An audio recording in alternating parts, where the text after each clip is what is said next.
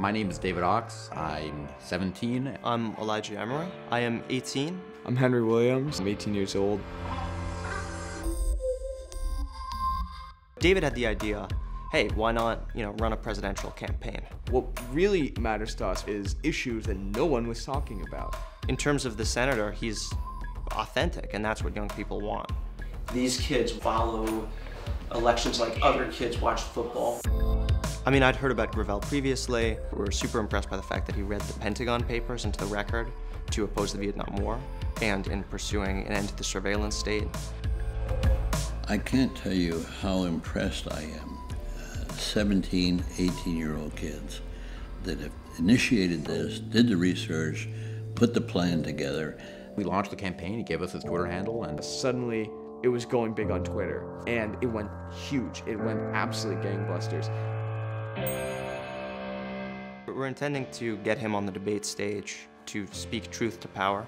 Yes, I want to be in the debates. I've got a message, and I think the message is more important than the message of any other candidate running. I have no faith that they'll treat him fairly. I have no faith they'll ask him good questions.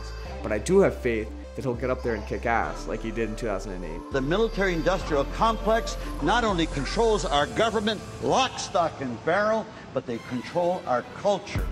We're doing our part to make sure that government is proactive, You judge a civilization by how it treats the elderly and how it treats the young. that it's used for good, He was arguably the first Democrat to support gay marriage. and that it's guided by moral beliefs rather than just the anything goes politics.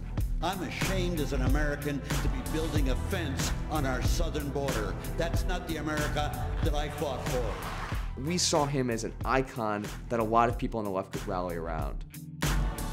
if we do fail, we'll kind of be failing the country in that we won't get this great voice into the debates.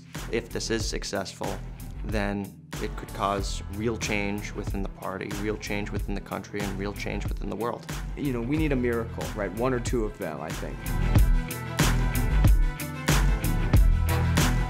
I've never heard of any high schoolers doing something like this before. I mean, it's pretty cool.